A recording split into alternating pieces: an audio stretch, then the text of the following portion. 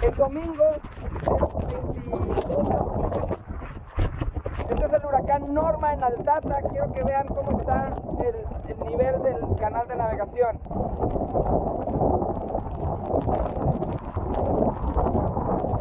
Los vientos son muy muy fuertes.